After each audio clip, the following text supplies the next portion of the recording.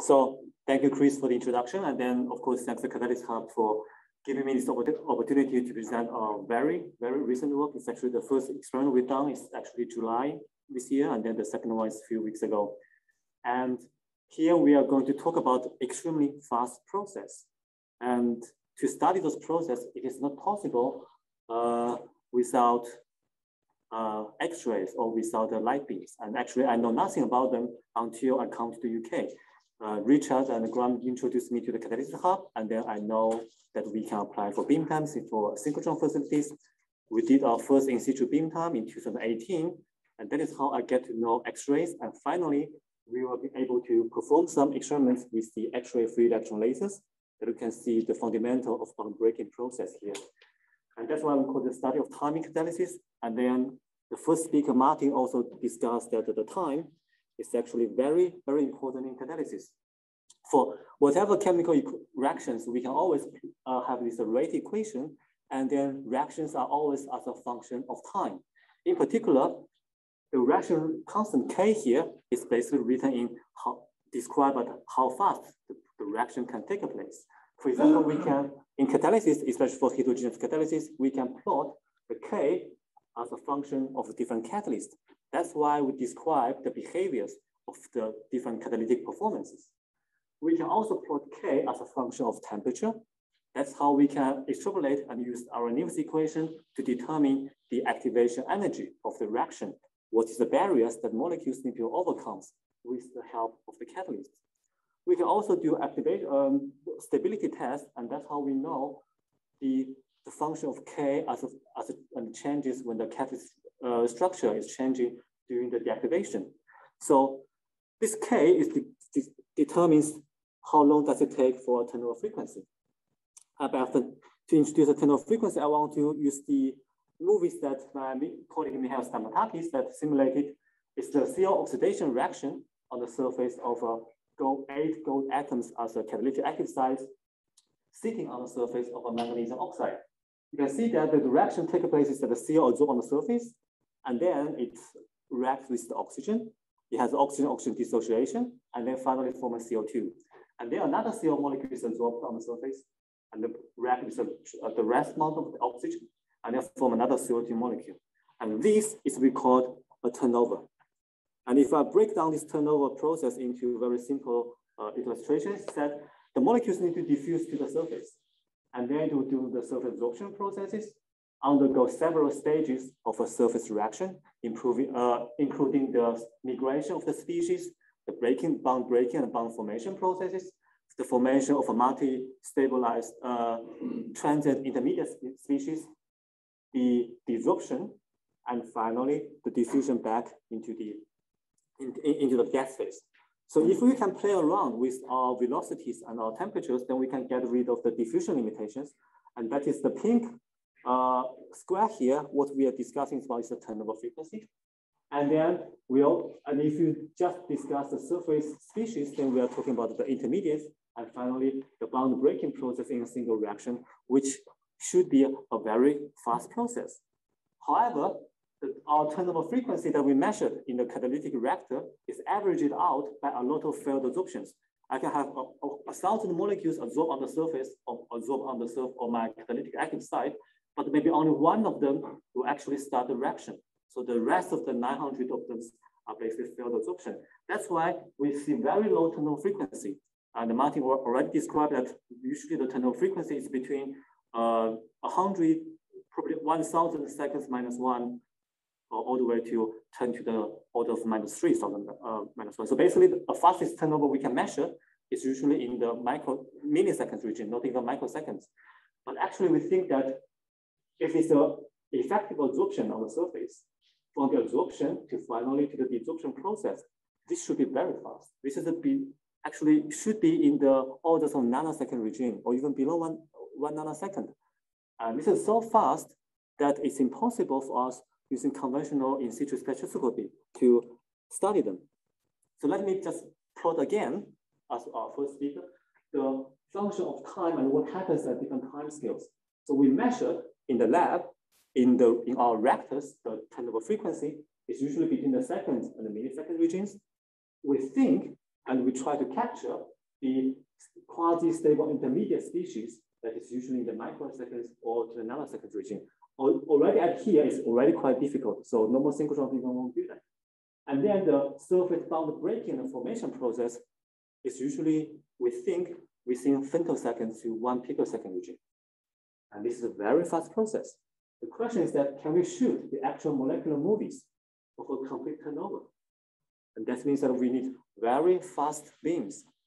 And the other thing is that the reaction, the molecules are also very small, as Sarah discussed about they are usually in the, nanometer size. An atom is below one nanometer. And that we also need to have a beam that have the similar wavelengths of the atoms. That's why we think that we need a very fast X-ray to be able to capture the process. Of course, the X-ray thing that we usually have in the lab or in the third generation synchrotrons are not fast enough. Here I plot some common resolutions with the synchrotron X-rays that we studied in our group. For example, this is our very first in situ uh, work at B18 in diamond light source.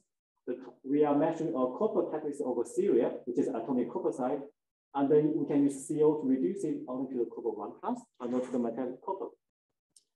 We are measuring the fluorescence mode, and the time resolution is three minutes.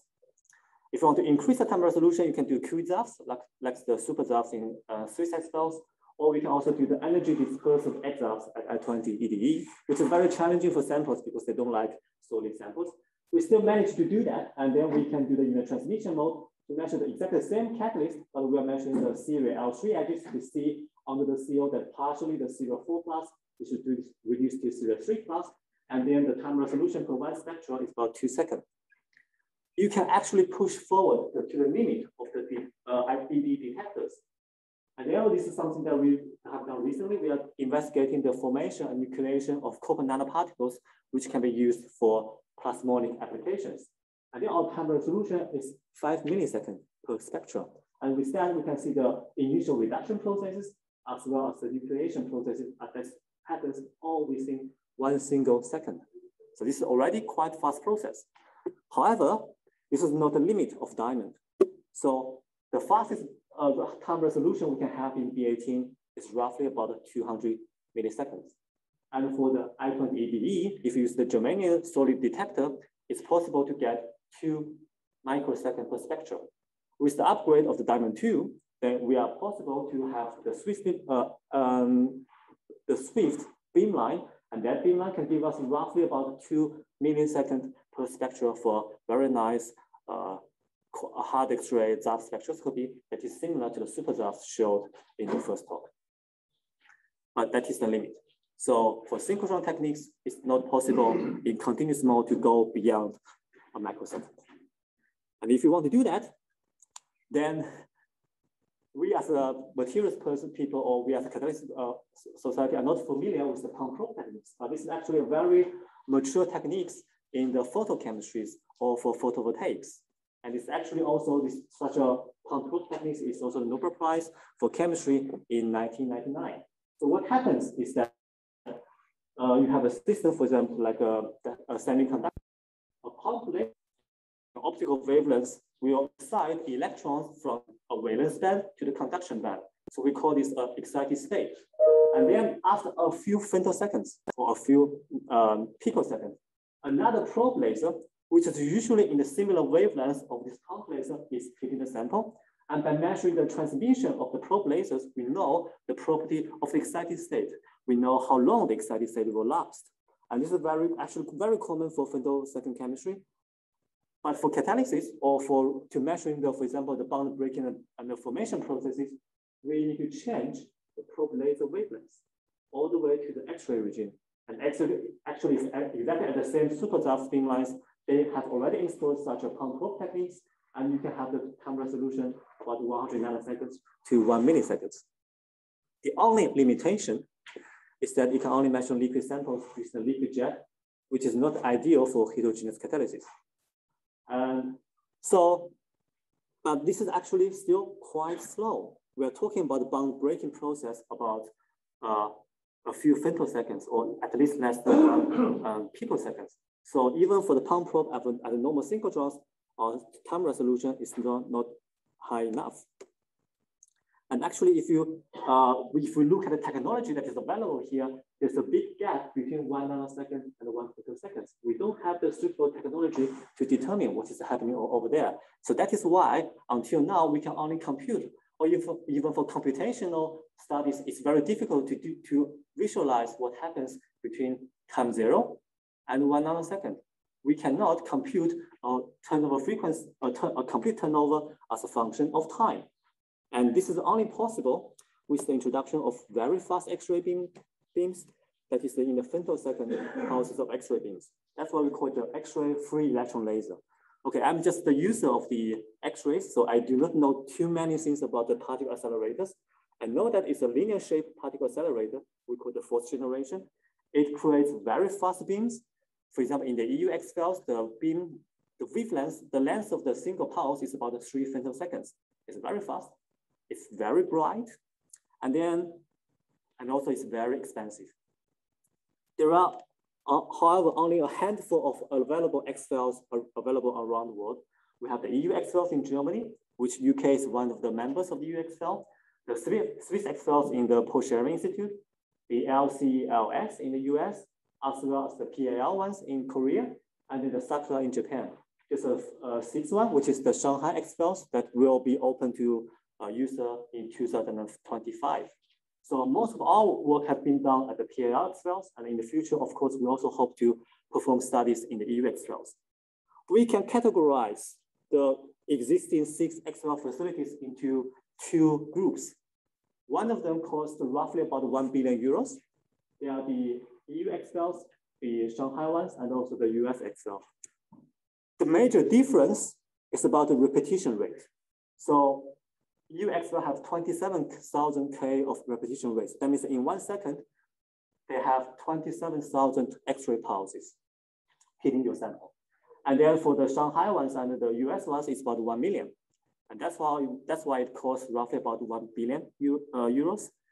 There are cheaper ones, which is only cost about uh, one third of the price, and they only have very low repetition rates. That means that you can only do single scan measurement.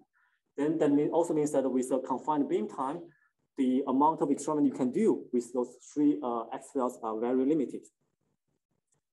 And their wavelengths is can go all the way up to uh, 15 keV or 20 keV, and they are extremely bright. So I just make a comparison with the fourth generation synchrotron, the extremely brightly uh, source of the ESRF, which is usually about the 10 to the orders of 21 uh, in terms of brilliance. However, for the for the XFELs, they're usually in the region uh, of 10 to the 32 or 10 to the 33. So they have really a lot of photons hitting the sample. I just want to give one other number is the, the power density of the XFEL. And if you can concentrate or you confine the, the beam into a focus beam into very small areas, then the beam intensity you get is about 10 to the orders of 17 watt per square centimeters. As a comparison, the total amount of sunlight shining on the earth is also about the same power. Just imagine that you should concentrate them all the way in the sunlight on the earth, all the way to only one square centimeters of area. And that is how bright the XFEL source is. And of course, if you happen to stick a sum into that, and then you won't find it anymore. It will explode within one nanosecond. So now I'm going to introduce our experiment at the EU XFEL. It's a catalytic experiment, but it's also a very simple one. But before that, please allow two minutes of time to introduce what's the background of this research. So we, in my group, we have been focusing on these copper ceria materials for the last 10, nine or 10 years. And then we are interested in the, the size of the surface copper species of ceria, which means when you have the atomic size, because of the electron withdrawing effect of the series, we can it can bring down the HOMO energy and also improve the LUMO energy. And this we think that can uh, successfully activate the molecular oxygen, and that will shows very good activity in oxidation chemistry. We applied for C oxidation and we also applied for uh, ammonia oxidation reactions. As we can see here that we uh, can study the performance, uh, the behavior of the copper under in situ conditions. We use the CO to reduce it, and we found that the copper is the atomic size is only reduced to copper one plus. It won't go to the metallic copper. And then the coordination numbers is reduced to four to two, and forms a kind of linear coordination uh, with the copper one plus. And then the more important thing is that in the helium, we found out that although we don't have any oxygen in the gas phase, uh, the copper is already oxidized from the one plus into two plus, and then from copper two oxygen coordination to copper four coordination with a square planar coordination. So we think that the only possible species that can oxidize the copper is actually the ceria. So the cerium four plus is very oxidative. It can pass the oxygen uh, two planets to copper, and that's how we can do this reaction. And this is what we believe. So we try to validate that, and we use the pure ceria as a compound to compare with the one loaded with copper, with the atomic side. And here what we done is the cerium L3H X-ray absorption spectroscopy, and we are measuring the reduction of the cerium 4 plus to, to 3 plus with the presence of CO pulses and then the oxidation link in the oxygen pulses. You can see that on the CO, the CO4 plus is reduced and then it's oxidizing on, on, in oxygen. The reduction rate is much slower compared to the oxidation rate. Once we have about 40, 14% of the cerium 3 plus in the beginning because ceria has a lot of oxygen vacancies. And then we probably reduced about 16% of cerium, of the pure ceria at 250 degrees C with CO. However, once we put this 0.6 weight percent of copper onto the ceria systems, you can reduce way more cerium than before. And in total, the, such a 0.6 weight percent of copper can help further reduce 17% of the cerium in the system. So of course, there were two scenarios. The first scenario is that um, on average, one copper cations can, we think, that can affect about 7.5 uh, cations of cerium 4 plus to be reduced by the CO. So the first scenario will be that uh, I have a copper here, I have eight cerium atoms around copper that is affected by my atom atomic copper site. That, that's why it can be reduced by the, by the uh, CO. Or there's another scenario is that the copper 2 plus serving as a catalyst to catalyze the solid reaction. So basically, originally, this 7.5 cerium cannot be reduced by the CO, but by reacting with the copper, then copper just serving as a compound to pass it through the oxygen, the electrons to the ceria, and that's how we can reduce it. That will also means that in such a short time frame, so about 120 seconds, my copper should be oscillating between one plus and two plus for at least seven times or eight times. And probably it's within a second, but more likely is within maybe one nanosecond because this is a turnover of a catalytic process. And that is how we decided that we want to go for XFEL to observe this. However, when we start to talk with the XFEL people, we found out that actually the X-ray free, free electron lasers are not really, really built for catalysis. They are basically built by physicists and try to solve biolo biological problems there are about 30 beamlines available in XFEL around the world. Only five of them will accept solid samples. The rest of them only working with liquid. And you can think, okay, then I can do homogeneous catalysis. But actually that's also not true because even though they can working with liquid, they need your metal concentration to be at least 100 millimolar. And I don't think there are too many homogeneous processes that involving such a high concentration of the metals. And with those, all those five beamlines that we can work in with solid, they all require ultra high vacuum condition. You cannot have gases inside. The maximum pressure you can have is 10 to the minus six bar, which is very, very low. So we need limited our condition and we need limited what we can study. I really want to study these reactions, but it's not that possible currently with. And then with the solid samples, another problem is that we need to use the pump probe techniques to exit the sample or to heat the sample or to excited sample. But the laser, as well as the extra XFEL beams, will also destroy the sample. So that means that when I have maybe one or two XFEL beams to hit in my sample position, my sample is already exploded because of the Coulombic explosion. So you can only measuring once or twice of the same sample location, and you need to change the sample constantly. That's why we use a um, technique called the raster scan. So basically, we are scanning at the, we have a thin plate of our materials coated thin film, and we are, we are constantly scanning at different location of our catalyst. So at each location, we will only be hitting by two X-ray lasers and one optical lasers. The first X-ray lasers will hit in the sample to measure the ground state. The second lasers will hit in the sample to excite our sample to the excited state. And then the third laser of X-ray lasers will hit in the sample to measure the excited state. By controlling the delay time between the optical laser and XR lasers. This is how we obtain femtosecond resolution. The optical laser uh, wavelength in the PAL XR is about 50 femtoseconds. The XR laser is about 110 femtoseconds. That's how determines that our time resolution is about 110 femtoseconds. And that's how we can determine it. The other thing we to think about is how to trigger the reaction. For example, if to, want to measure the CO oxidation reactions, I need to flow CO inside. Even though we are so even though if we can even measure under the CO, we cannot trigger the reaction with the CO molecules because that we can only we will measure the time frame of the CO diffused on the surface, not the CO absorption and not the CO bond CO oxidation. So we cannot trigger the reaction by heat by gases. We can also not trigger the reaction by just thermal, thermally heating the sample because then we are measuring the very slow heating process. The phonon process is extremely small, extremely slow. That's why for most of the pump probe studies, we can only use lasers. We can only do photochemistry, and we can. This is the only source of a trigger of the reaction. And then, of course, we also need to worry about the beam damage of the sample, which I'm going to discuss in detail later. So we happen to find a reaction that can be studied at XFEL. Actually, we also we found this in the B07 uh, in Greg's beamline in diamond that when I have an atomic copper site on the surface of a ceria or other support, when I heat hitting the samples, I, the, the support will release oxygen and my copper 2 plus will reduce to copper 1 plus. This is a very similar process, similar to the reduction by CO. It's just here, just heating the, in the vacuum. And we compare two, three different types of a copper oxygen bond. The difference is that on the other side of oxygen, I have a different cations. And then this will dramatically change the thermodynamics or the equilibrium states. The temperature required to reduce these three bonds are completely different.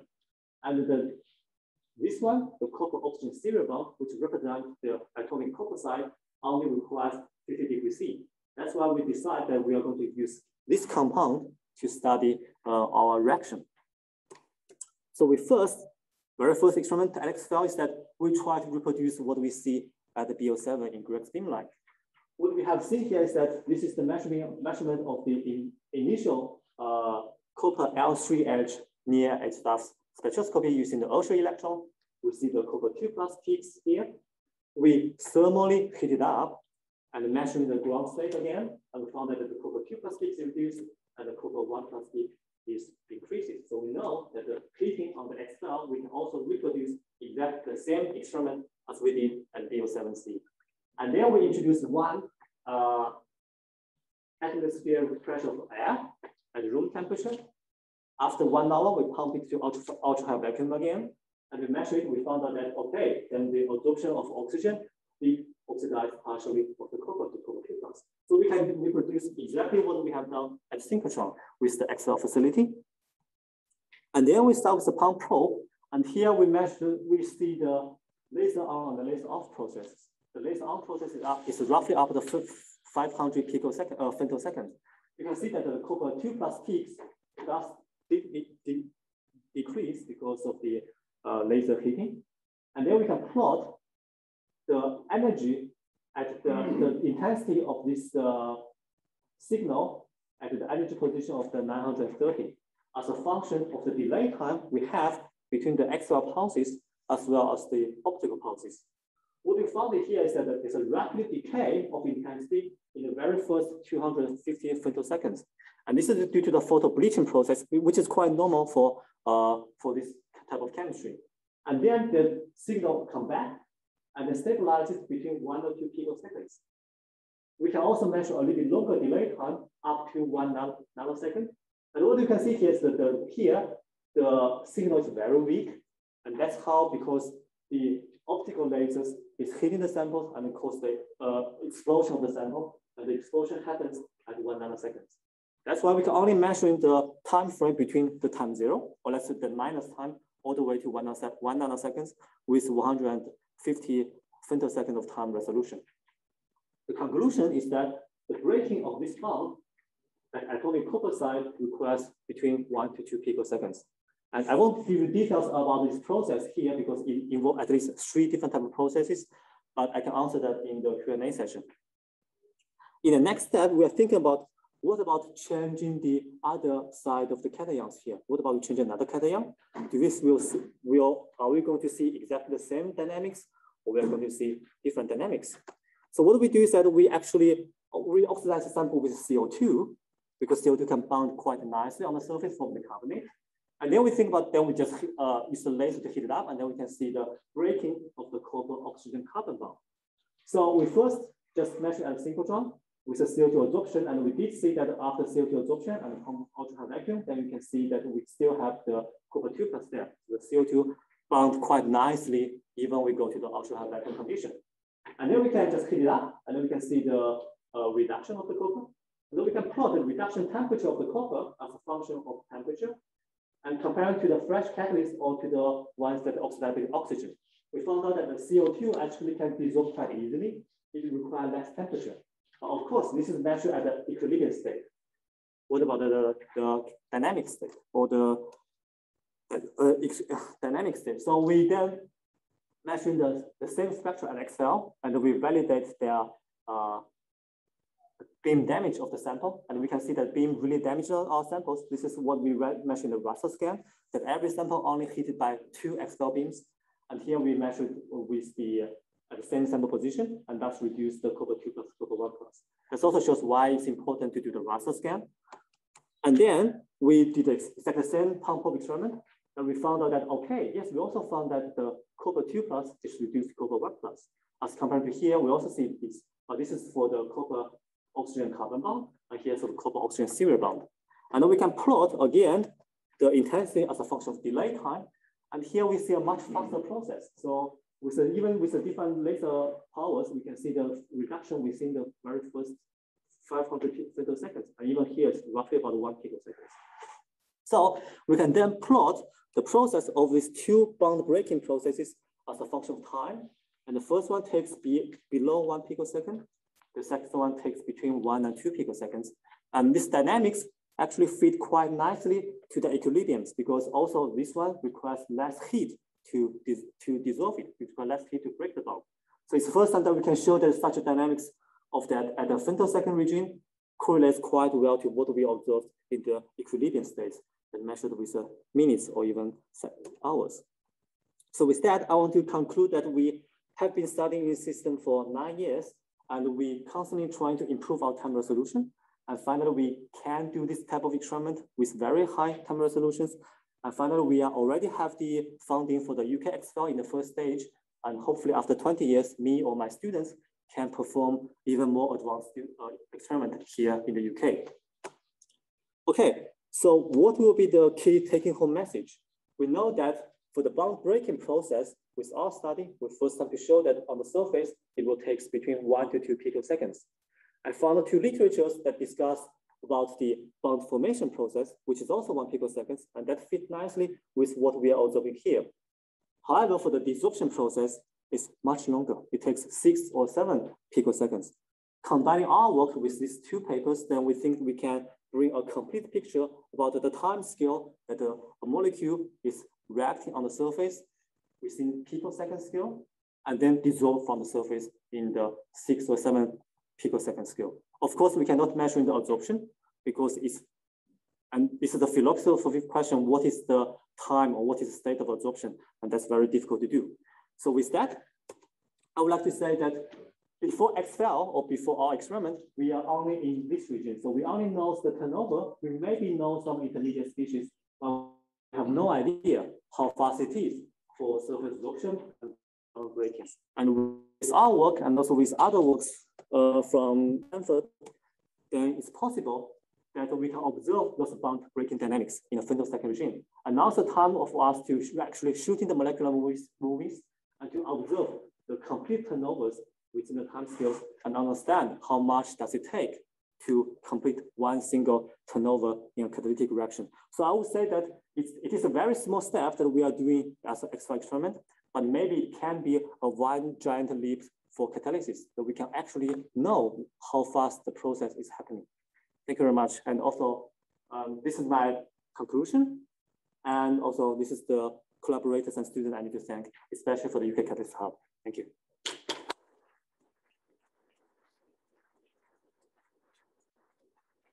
Hi, and thank you very much, Steve, for, for an inspiring question.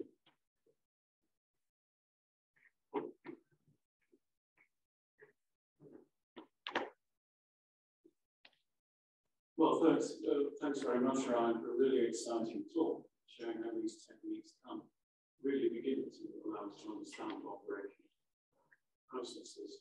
Because one of the problems with the XR techniques is that this enormously intense X-ray field that destroys the thing you're studying.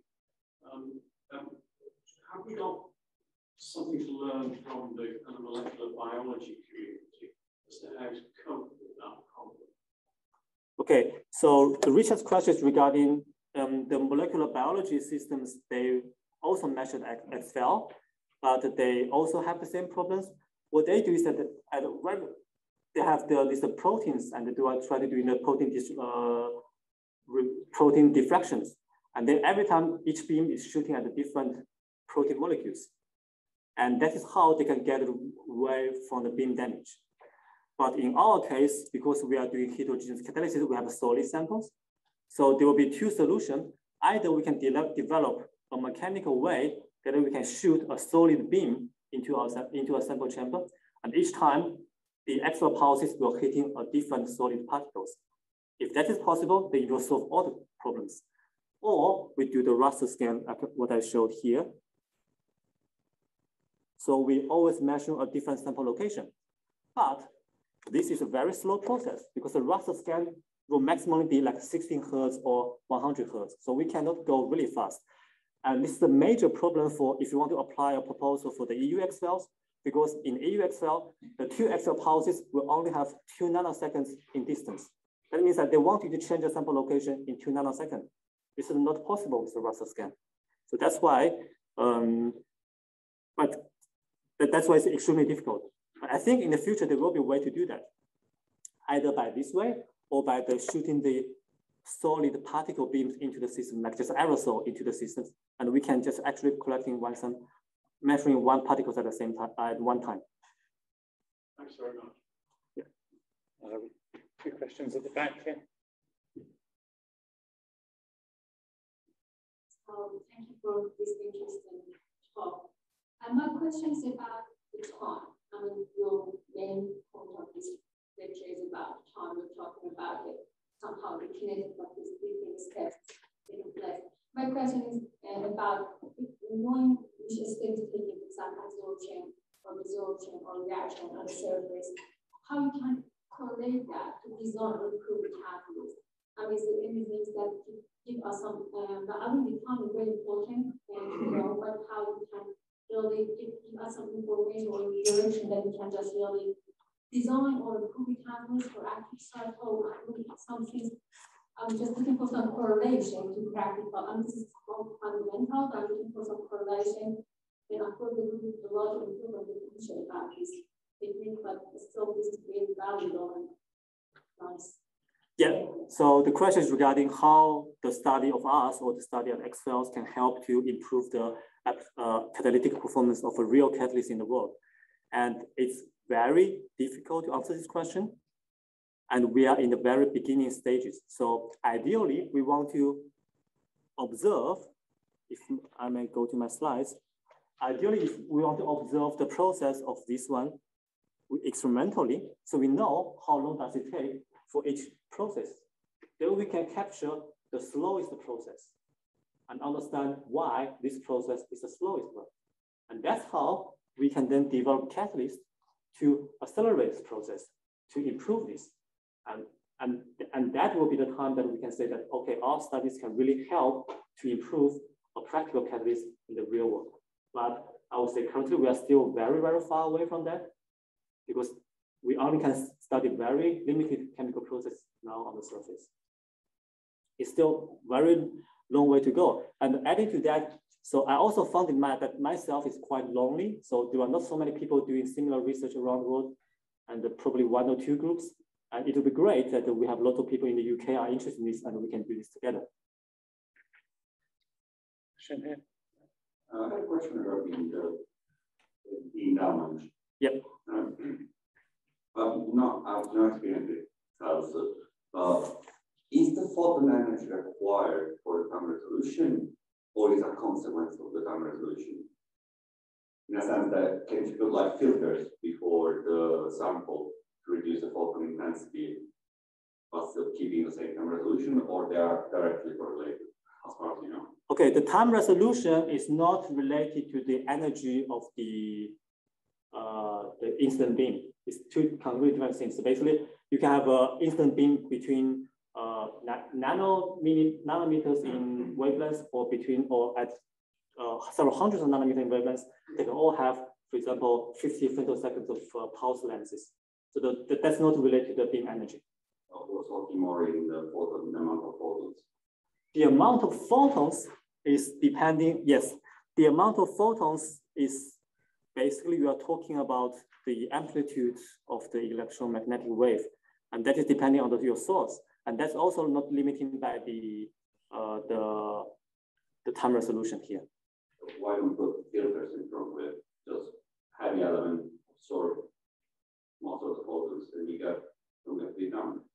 Yes, but then you don't get a signal. Uh, this is a very good question. I also have this question when I was measuring, when I was asking my colleagues in the XFEL, you can see the error bar here.